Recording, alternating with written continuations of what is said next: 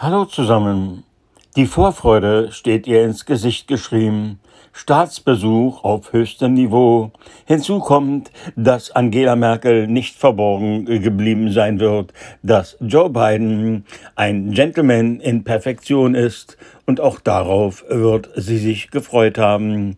Das zarte Gelb der Bundesuniform der Bundeskanzlerin wird ein weiteres getan haben.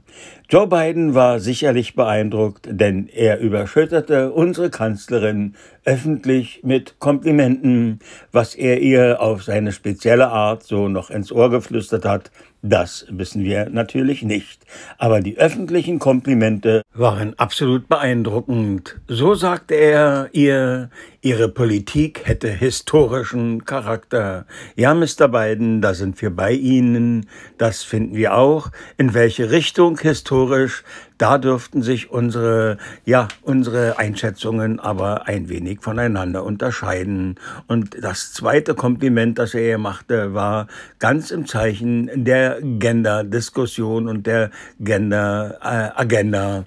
Sie wäre die erste weibliche Bundeskanzlerin und das schätzte er auch eine, als eine enorme Leistung ein. Nun, Mr. Biden, wir können Ihnen sagen, es gibt natürlich keine männlichen Bundeskanzlerinnen oder keine weiblichen Bundeskanzler. Aber bei diesem ganzen Gendersprech, da kann man ja schon mal durcheinander kommen und etwas verwirrt sein. Verwirrt ist man ja öfter mal im Leben. Mit weiteren Details wollen wir euch nicht langweilen. Das ist ja vielleicht äh, auch so, dass sich da jeder selbst äh, ja informieren kann. Eins bleibt allerdings noch zu sagen: Das Gelb der Bundesuniform drückt wohl ein gewisses, äh, ja eine gewisse Sympathie mit der chinesischen äh, Regierung aus äh, und man munkelt ja auch, dass Joe Biden auch äh, da eine gewisse Vorliebe pflegt und hegt. Aber das wissen wir natürlich auch nicht so genau. Auch im Inland wollen wir mal auf ein Gemunkel und auf Gerüchte eingehen. Wir wissen ja, dass Markus Söders Gattin ordentlich im Maskenbusiness äh, vertreten ist und da die einige eine oder andere Mark verdient haben wird. Nun äh, trifft es allerdings auch die Freien Wähler von Herrn Aiwanger, Dort soll es auch jemanden geben, der irgendwie mit Masken Geld verdient hat, vielleicht nicht auf ganz korrekte Art und Weise, vielleicht auch einige Interessenkonflikte. Da werden wir in den nächsten Tagen sicher dann, wenn daran was ist, noch mehr erfahren. Apropos Markus Söder. Markus Söders beste Männerfreundschaft mit Sebastian Kurz ist wohl im Eimer.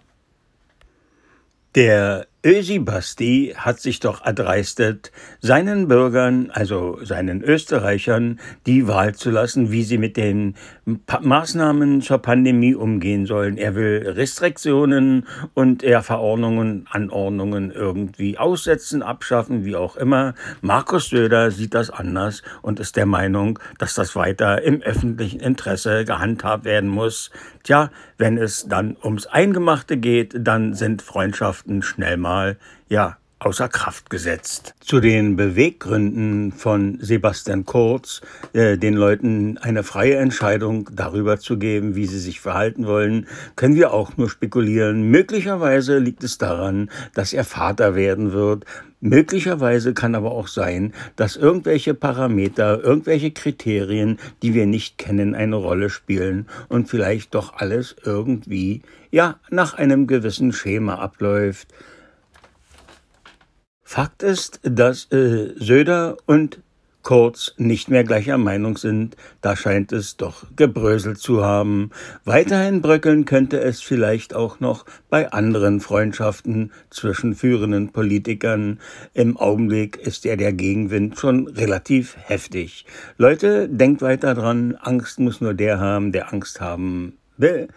Geht hinaus, sagt den Leuten, was ihr wisst, kommt nach Berlin am 1.8. ist Demo. Wir müssen zusammenhalten, wir müssen Gesicht zeigen. Ich wünsche euch einen schönen Tag.